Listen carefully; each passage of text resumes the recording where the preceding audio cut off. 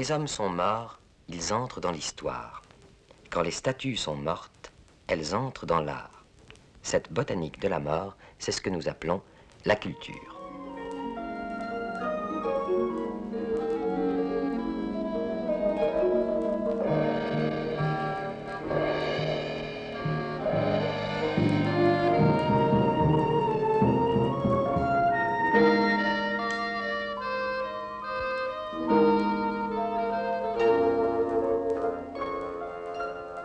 C'est que le peuple des statues est mortel. Un jour, nos visages de pierre se décomposent à leur tour. Une civilisation laisse derrière elle ses traces mutilées comme les cailloux du petit poussé, mais l'histoire a tout mangé. Un objet est mort quand le regard vivant qui se posait sur lui a disparu, et quand nous aurons disparu, nos objets iront là où nous envoyons ceux des nègres, au musée.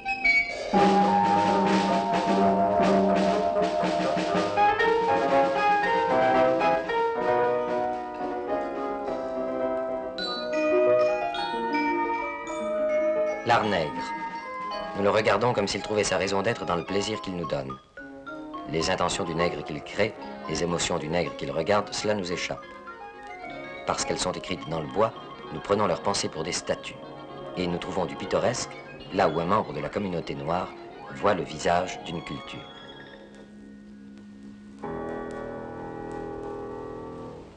C'est son sourire de Reims qu'elle regarde. C'est le signe d'une unité perdue où l'art était le garant d'un accord entre l'homme et le monde. C'est le signe de cette gravité que lui lègue, au-delà des métissages et des bateaux d'esclaves, cette vieille terre des ancêtres, l'Afrique. Voici le premier partage de la terre. Voici le fœtus du monde. Voici l'Afrique du XIe siècle. 12e, du 15e, du 17e. D'âge en âge, tandis que sa forme se dégageait lentement, l'Afrique était déjà la terre des énigmes. Le noir était déjà la couleur du péché. Les récits des voyageurs parlaient de monstres, de flammes, d'apparitions diaboliques. Déjà le blanc projetait sur le noir ses propres démons pour se purifier. Et pourtant, Lorsqu'au-delà des déserts et des forêts, il croyait aborder au royaume de Satan, le voyageur découvrait des nations, des palais.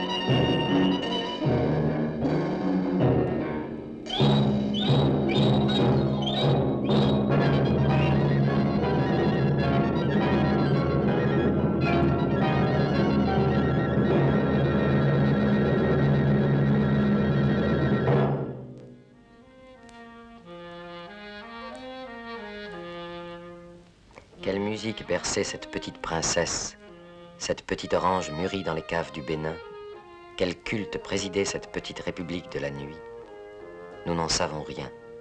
Ces grands empires sont les royaumes les plus morts de l'histoire. Contemporains de Saint-Louis, de Jeanne d'Arc, ils nous sont plus inconnus que Sumer et Babylone. Au siècle dernier, les flammes des conquérants ont fait de tout ce passé une énigme absolue. Noir sur noir, combat de nègres dans la nuit des temps, le naufrage nous a laissé seulement ces belles épaves striées que nous interrogeons. Mais si leur histoire est une énigme, leurs formes ne nous sont pas étrangères. Après les frises, les monstres, les atrides casqués du Bénin, tous les vêtements de la Grèce sur un peuple d'insectes, voici ces Apollons d'Aïfé qui nous tiennent eux aussi un langage familier. Et c'est à juste titre que le noir y puise l'orgueil d'une civilisation aussi vieille que la nôtre. Nos ancêtres peuvent se regarder en face sans baisser leurs yeux vides.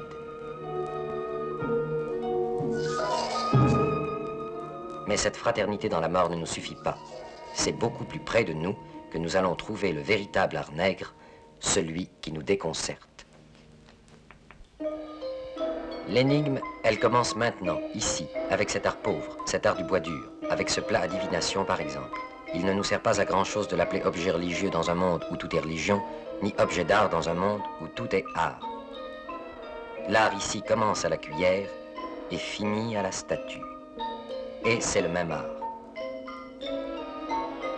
Nous connaissons un art où l'ornement d'un objet utile, comme l'appui-tête et la beauté inutile de la statue, appartiennent à deux ordres différents.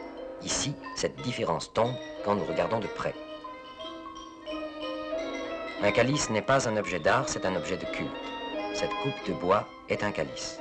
Tout ici est culte, culte du monde. Quand il fait reposer le siège sur des pieds d'homme, le noir crée une nature à son image. Dès lors, tout objet est sacré, parce que toute création est sacrée. Elle rappelle la création du monde et la continue. L'activité la plus humble concourt à l'ensemble d'un monde où tout est bien, où l'homme affirme son règne sur les choses en leur imprimant sa marque et quelquefois son visage. Formes animales comme sur cette bobine de tissage. Formes végétales comme sur ces boîtes à phare, toute la création défile sous les doigts de l'artiste noir. Dieu lui a montré le chemin, il imite Dieu, et c'est ainsi qu'à son tour, il invente l'homme.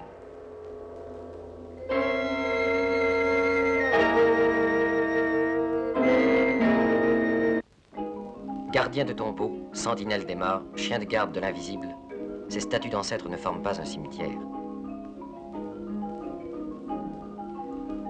Mettons des pierres sur nos morts pour les empêcher de sortir. Le nègre les conserve près de lui pour les honorer et profiter de leur puissance dans un panier rempli de leurs ossements. C'est des morts que procèdent toute sagesse et toute sécurité. Ils sont les racines du vivant. Et leur visage éternel prend parfois forme de racine.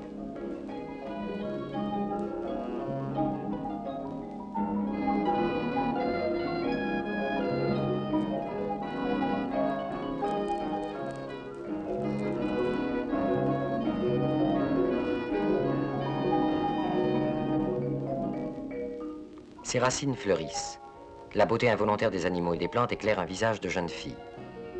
Et nous pouvons bien prendre sa lumière pour un sourire ou même son huile pour une larme et nous émouvoir, à condition de bien savoir que ces images nous ignorent, qu'elles sont d'un autre monde, que nous n'avons rien à faire dans ces conciliabules d'ancêtres qui ne sont pas les nôtres.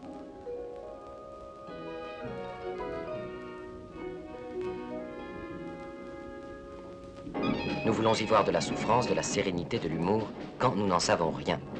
Colonisateurs du monde, nous voulons que tout nous parle, les bêtes, les morts, les statues, et ces statues-là sont muettes. Elles ont des bouches et ne parlent pas, elles ont des yeux et ne nous voient pas. Et ce ne sont pas des idoles, plutôt des jouets, des jouets sérieux, mais qui ne valent que parce qu'ils représentent. Il y entre moins d'idolâtrie que dans nos statues de saints. Personne n'adore ces poupées sévères. La statue nègre n'est pas le Dieu, elle est la prière. Prière pour la maternité, pour la fécondité des femmes, pour la beauté des enfants. Elle peut être couverte d'ornements qui ont la valeur des enluminures. Elle peut être aussi fruste comme cette boule de terre qui protège la moisson, ou encore lier la terre à la mort par la forme et par la matière. Ce monde est celui de la rigueur. Chaque chose y a sa place. Ces têtes n'ont pas à être effrayantes, elles ont à être justes. Mais regardez bien leurs cicatrices, ce champ magnétique où viennent se prendre toutes les formes du ciel et de la terre. L'objet n'en a pas besoin pour exister et servir. Ce débordement de création qui dépose ses signes comme des coquillages sur la paroi lisse de la statue, c'est un débordement d'imagination, c'est la liberté. Roue du soleil, nœud de la fleur, courbe de l'eau, fourche des arbres s'y déploient l'un après l'autre. Les techniques se mélangent. Le bois imite subtilement le tissu. Le tissu prend ses motifs à la terre. On s'aperçoit que cette création n'a pas de limite, que tout communique et que de ces planètes à ces atomes, ce monde de la rigueur renferme à son tour le monde de la beauté.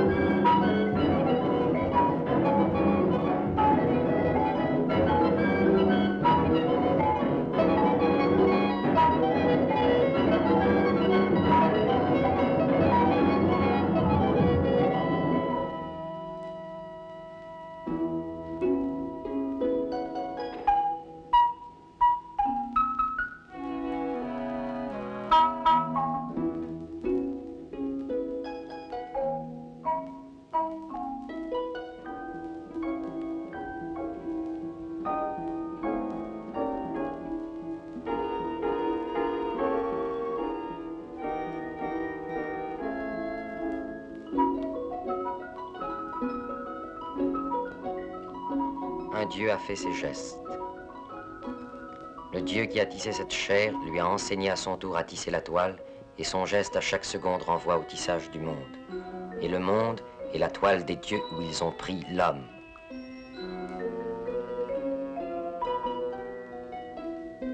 Essayez de distinguer ici ce qui est la terre et ce qui est la toile, ce qui est la peau noire et ce qui est la terre vue d'avion, ce qui est l'écorce de l'arbre et celle de la statue.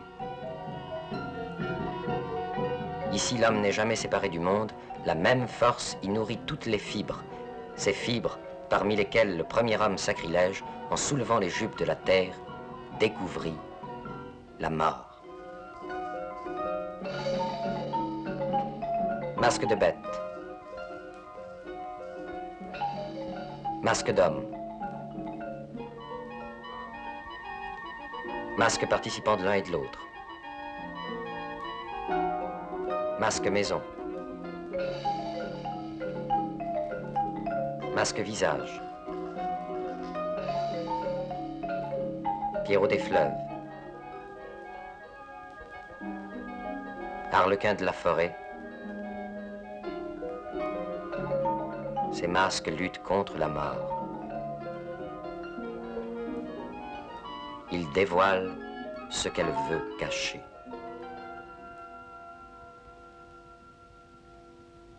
Car la familiarité des morts mène à apprivoiser la mort, à la gouverner par le moyen des envoûtements, à la transmettre, à la charmer par la magie des coquillages.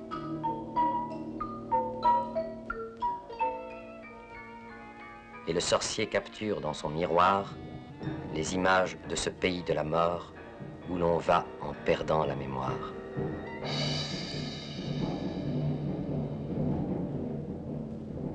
Mais victorieuse du corps, la mort ne peut rien contre la force vitale éparse en chaque être et qui compose son double.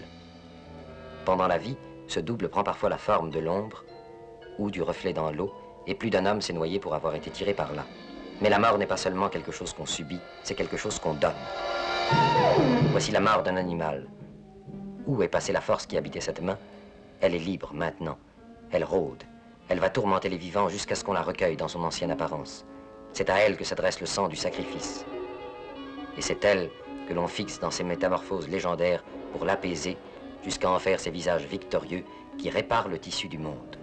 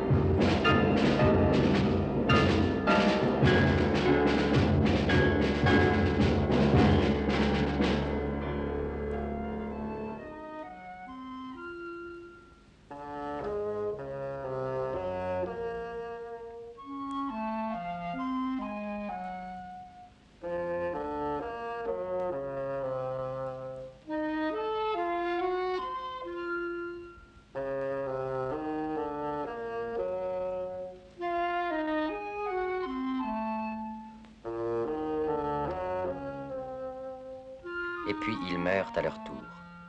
Classés, étiquetés, conservés dans la glace des vitrines et des collections, ils entrent dans l'histoire de l'art, paradis des formes où s'établissent les plus mystérieuses parentés. Nous reconnaissons la Grèce dans une tête africaine vieille de 2000 ans. Le Japon dans un masque de Logwe. Et encore l'Inde, les idoles sumériennes,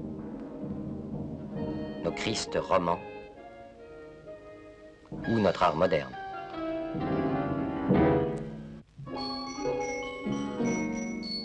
Mais en même temps qu'il gagne ses titres de gloire, l'art nègre devient une langue morte, et ce qui naît sur ses pas, c'est le jargon de la décadence. À ces exigences religieuses succèdent des exigences commerciales. Et puisque le blanc est acheteur, puisque la demande excède l'offre, puisqu'il faut aller vite, l'art nègre devient l'artisanat indigène. On fabrique par milliers ces répliques de plus en plus dégradées des belles figures inventées par la culture africaine. Ici, l'outillage vulgarise, la technique appauvrit. Au pays où toutes les formes signifiaient, où la grâce d'une courbe était une déclaration d'amour au monde, s'acclimate un art de bazar. Ces bijoux en toc que les explorateurs offraient aux sauvages pour les amadouer, voici que le nègre nous les rend. À la beauté particulière de l'art nègre se substitue une laideur générale, un art où les objets deviennent des bibelots, un art cosmopolite, un art du vase à fleurs, du presse-papier et du porte-plume souvenir où l'on voit en transparence la tour de Babel. Un art du portrait aussi. Incapable désormais d'exprimer l'essentiel, le sculpteur se rattrape sur la ressemblance. Nous lui avons appris à ne pas sculpter plus loin que le bout de son nez. Mais ce que nous faisons disparaître de l'Afrique ne compte guère pour nous en face de ce que nous y faisons apparaître.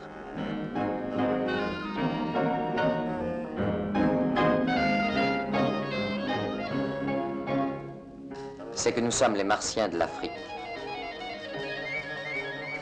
Nous débarquons de notre planète avec nos façons de voir, avec notre magie blanche et avec nos machines.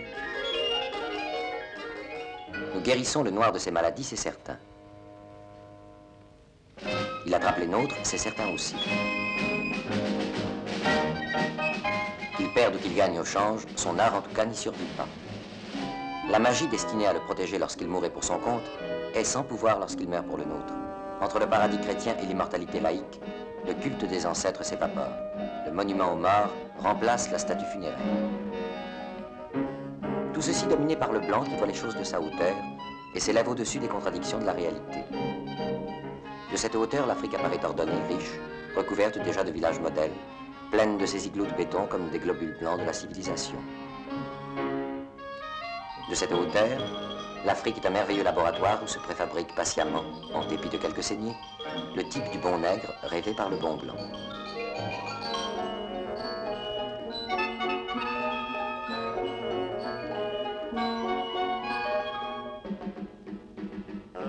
Alors tout cet appareil de protection qui donnait son sens et sa forme à l'art nègre se désagrège et disparaît.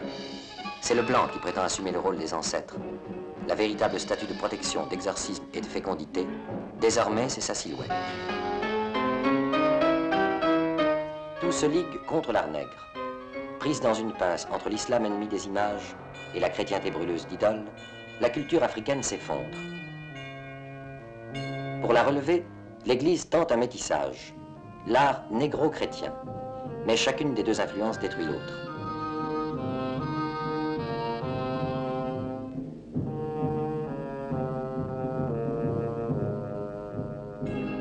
Et ce mariage manqué fait perdre au catholicisme en Afrique sa luxuriance, son éclat, tout ce côté nègre justement à quoi on le reconnaît en Europe.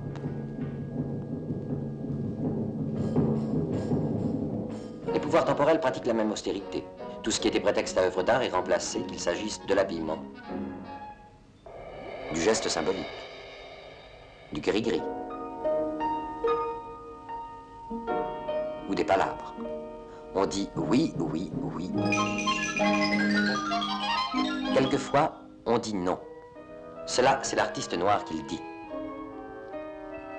Alors une nouvelle forme d'art apparaît, l'art de combat. Art de transition pour une période de transition. Art du présent entre une grandeur perdue et une autre à conquérir.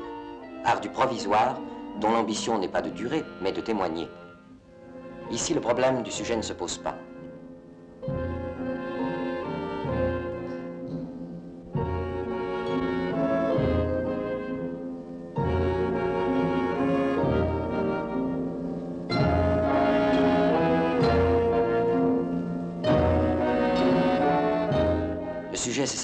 Naturellement ingrate, ce climat naturellement éprouvant, et là-dedans le travail à une échelle démesurée, le rythme de l'usine affrontant celui de la nature, Ford chez Tarzan.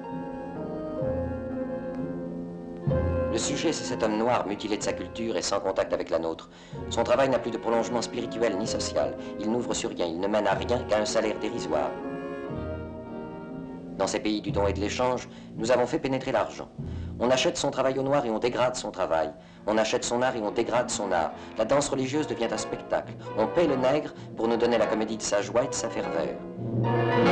Et ainsi, à côté du nègre esclave, apparaît une seconde figure, le nègre guignol. Sa force nous sert, son adresse nous amuse. Accessoirement, elle nous sert aussi. Des nations dotées de traditions racistes trouvent tout naturel de confier à des hommes de couleur le soin de leur gloire olympique. Mais un noir en mouvement, c'est encore de l'art nègre. Et dans le sport, le noir peut trouver, en attendant mieux, un bon terrain pour mystifier l'orgueil du blanc.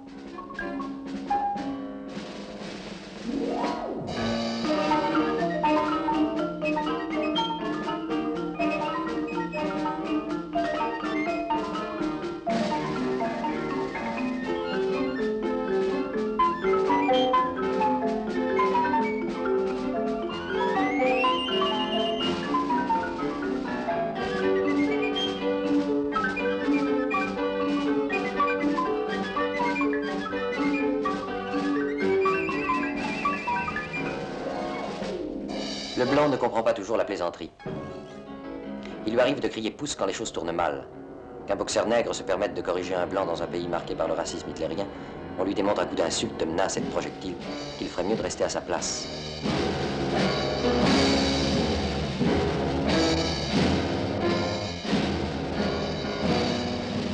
Et quand ce n'est plus pour jouer, quand le noir par exemple se mêle aux luttes du travail, c'est à coups de fusil et de matraque que s'opère la démonstration. Ce climat de brimade et de menace conduit l'artiste nègre à une nouvelle métamorphose, et sur le ring ou dans son orchestre, son rôle consiste à rendre les coups que reçoit son frère dans la rue.